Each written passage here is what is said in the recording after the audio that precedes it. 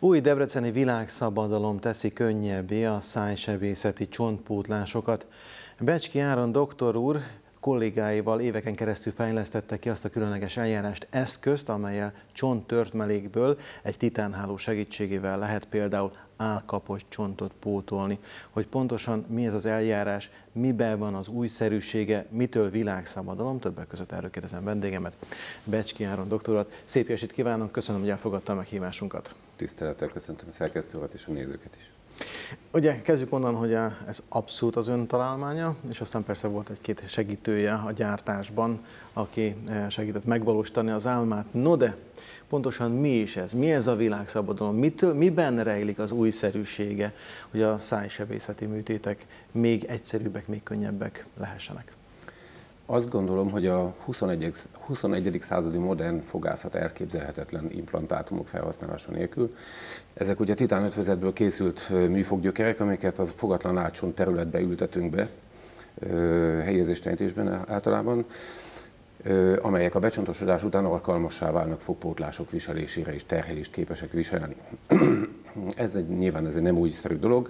Az viszont tény, hogy a fogatlan átson területek az esetek legkisebb részében optimálisak arra, hogy ilyen implantátumokat ültessünk be, ugyanis ezek a fogatlan átson területek a foghúzás óta eltelt időtől, a foghúzás traumatogén jellegétől, az adott területen lezajlott fogeredetű gyulladásoktól függően kisebb-nagyobb csonthiányokat szenvednek. Úgy hívjuk ezt szaknyelven, hogy csontinvolúció történik az adott átcsont területen.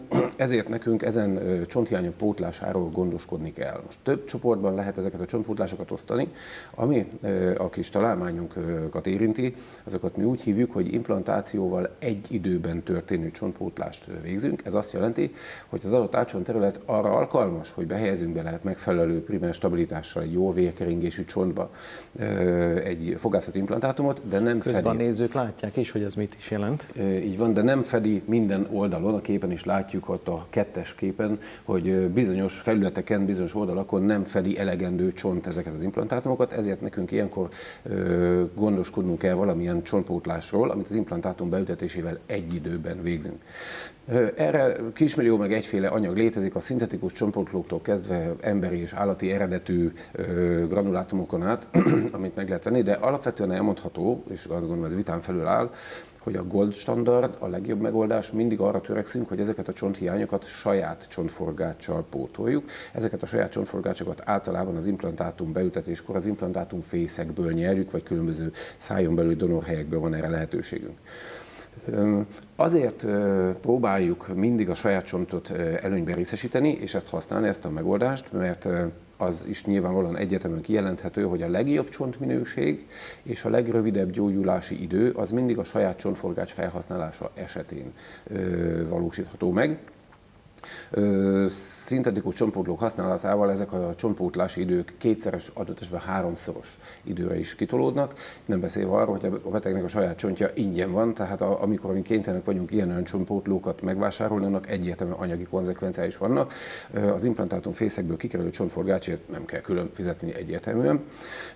Azonban az előbb elmondott előnyökhöz, előnyökkel szemben van egy hátránya is ennek a megoldásnak, az pedig az, hogy a tisztán saját csontforgáccsal végzett csontpótlások, ezt szaknyelven augmentációnak hívjuk, kiterjesztésnek.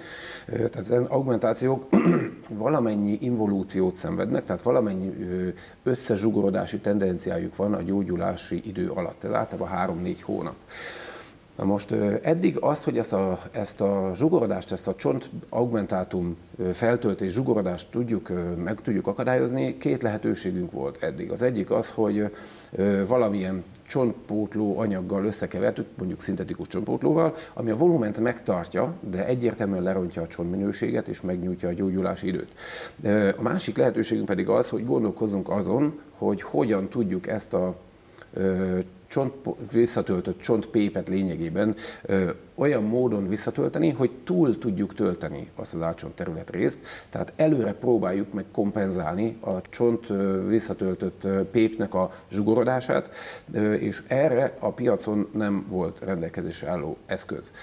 Tehát úgy kell ezt elképzelni, mint a betont, tehát amikor mi visszatöltjük ezt a csontozatot, ez egy pépes állagú anyag, a betont is ugye be kell zsalúzni, és ahogy a beton megkötött, a zsalút el lehet bontani. Ugyanezt a célt szolgálják ezek a titánhálók, amik az általunk kifejezett háló csak sík hálók voltak, és ezért ezekkel nem lehetett relatíve túltölteni ezeket az átsonterületeket ahogy a kép is mutatja. Látjuk azon a képen, hogy a rögzítő csavarnál van a legmélyebben ennek a titánhálónak a a széle, tehát relatíve túl tudjuk augmentálni, túl tudjuk terjeszteni ezt a csontpótlást, amit az implantátumunk mellé végzünk. Azóta lényegileg, amikor ezt kitaláltam, ezt az elképzelést, talán a nézőknek könnyebb elképzelni, hogy ez mondjuk egy olyan, mintha egy puha gumilabdába belenyomnám az ujjamat, és ott a legmélyebb pontján rögzítjük ezt a titánhálót. Mikor ez a gondolat az én fejemben felötlött, akkor felhívtam Hajdú Józsefet, Hajdú József bátyám a Miskolci implantátumgyártó cégnek az alapítója, atya és összefüggéslátója, és Józsi bátyám zseniális úriember is elmesélte meg, hogy mik lennének, amik felhasználóként a mi igényeink, és akkor ők ezt a titánhálót megtervezték, a megfelelő anyagméretezést kiválasztották, voltak nyilván közti darabok, amiket mi kipróbáltunk itt a rugalmasságot, lyukméreteket, anyagvastagságot, ezeket mindet ki kell próbálni, és egy ideális, optimális ötvezetre, tehát végül sikerült együtt kifejleszünk. Azóta ennek, a, ahogy a kis animáció is mutatja, ugye így kerül rögzítésre az átmenő csavarral a titánháló, ami a csontpótlás túltöltését teszi lehetővé. Azóta, ezt 2017-ben fejlesztettük ki, azóta több mint 150 nagyon pontosan fotodokumentált műtéti esetünk van, amikről természetesen a kollégáknak előadásokat tartunk, a tapasztalatokat megosztjuk. Ennek a 3D Builder a fantázia neve ennek a kis titánhálónak, amit hála Józsi bátyánknak és az ő csapatának, ők nagyon álhatatosan kijárták ennek az útját, ami nem volt egyszerű, hogy bátorkodom a kamerának is megmutatni, hogy ez egy jogvédett szabadalommá vált körülbelül 3-4 hónappal ezelőtt, és lényegében ezt azóta is nagy megelégedéssel használjuk, és nagyon szép eredményeket tudunk vele elérni. Ugye nagyon sok eset, tehát 100-150 esetet tudnak felsorolni. Igen. Na most ennek nyilván lesz egy útja hát többen is akarják majd használni, hiszen van már tapasztalat mögötte, nagyon pozitív tapasztalatok, nagyon sikeres beavatkozások, többek között az én állkapcsom. E, Így van. Tehát tudom igazolni. Valójában akkor ennek mi az útja? Tehát mi van akkor, hogyha jelentkezik egy kollega, és azt mondja, hogy hát ő is szeretne erre az útra lépni, ezt a technológiát használni, mi fog ezzel most történni? Azt gondolom, hogy ez egyértelműen a betegek érdekét szolgálja, mert egy egyszerű, viszonylag gazdaságos és gyors megoldást tudunk a implantációval egy időben történő csontpótlásoknál nekik alternatívaként javasolni. Ez amúgy kapható, a Bionika forgalmazza, nagyon fogászati forgalmazó cégeknek a, a, a portfóliában már szerepel.